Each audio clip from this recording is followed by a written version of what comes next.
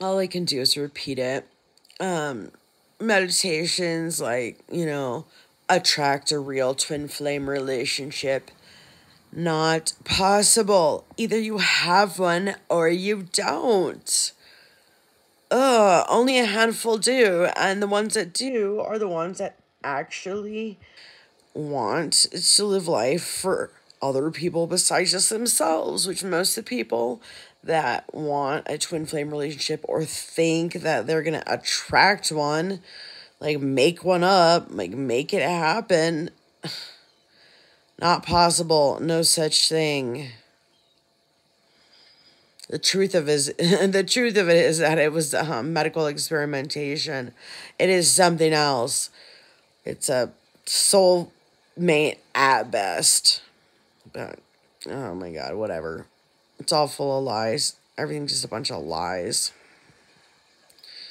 Everyone's spinning lies.